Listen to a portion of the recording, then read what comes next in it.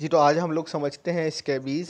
Scabies भी एक skin की बीमारी है, जो एक माइट के काटने की वजह से होती है। माइट जैसे बालों में जुएँ होती है ना, उस तरह की एक और माइट होता है इंसेक्ट है छोटा सा। जिसको क्या कहते हैं सरकॉप्टिस स्कैबीज ये तरह की छोटी सी माइट है। ये कैसे फैलती है? बहुत सारा क्राउडिंग बहुत ज़्यादा रश में अगर किसी को स्कैबीज था तो आपकी स्किन पे आ सकता है। स्किन टू स्किन कांटेक्ट अगर घर में एक को है तो सबको हो सकता है, क्योंकि ये छोटी जो है, वो जुआ टाइप माइट होती है, जो एक की स्किन के बाद सबके स्किन पर आ सकती है और कॉज कर सकती है। बेसिकली ये ज़्यादातर जो है वो जानवरों से आती है बिल्ली वगैरह जो है ना उनमें ये स्केबिज हो जाती है और जो लोग बिल्लियाँ पालते हैं उनके ज़रिए से उनकी स्किन पे आती है और फिर जो है वो उनकी स्किन से कांटेक्ट टू कांटेक्ट हो होता होता सबको जो है वो स्केबिज हो, हो जाता है।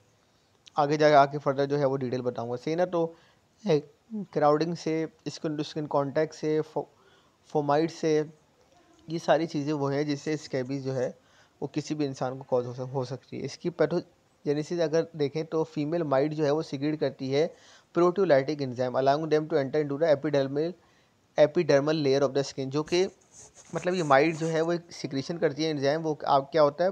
ओपन पोर्स के ज़रिए उसमें जा, जाता है और वहाँ पर जाके ये अंडे देती है।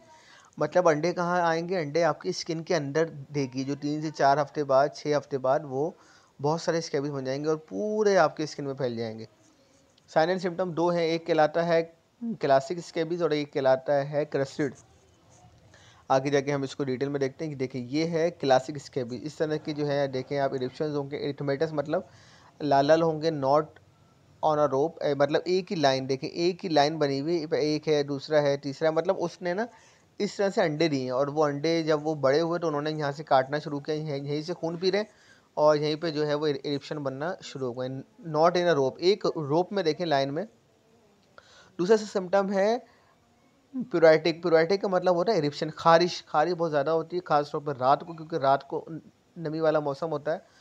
और आगे जाके ये और अंडे देते रहते हैं इसके बीच स्किन के अंदर और स्किन के अंदर बीमारी और फैलती रहती है, खारिश बढ़ती रहती है, इस तरह के जो है वो इरिप्शन जो है उसमें इजाफा, मज़ीद जो है वो होता जाएगा डे बाई डे और स्किन की डिस्ट्रीब्यूशन अगर हम देखें वेब्स ऑफ़ द फिंगर मतलब उंगलियों के बीच वाला हिस्सा एक्जिला एरोलिया और जेनेटारिया में। क्रस्टेड स्केबिस क्या होता है? ये देखें, इस तरह से।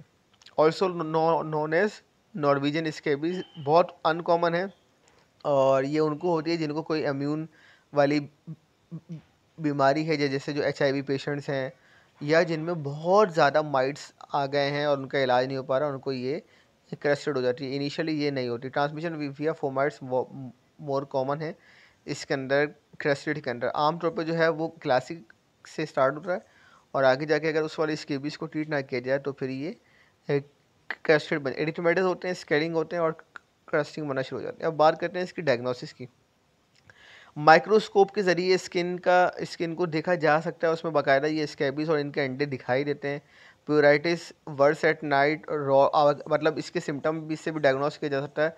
रात को बहुत ज़्यादा खारिश होना, दानों का एक नॉट की सूरत में, एक रोप की सूरत में होना, अगर क्रस्टेड वाला है तो स्केलिंग फिशर सी ऐसे ना, इसका ट्रीटमेंट एलोपैथिक में सिर्फ़ वो जो है स्टेरॉयड देते हैं टॉपिकल परमेट्रिन देते हैं और इस तरह की एंटी फंगल और इस तरह की दवाइयाँ देते हैं जबकि होम्योपैथिक में इसका बहुत अच्छा इलाज है।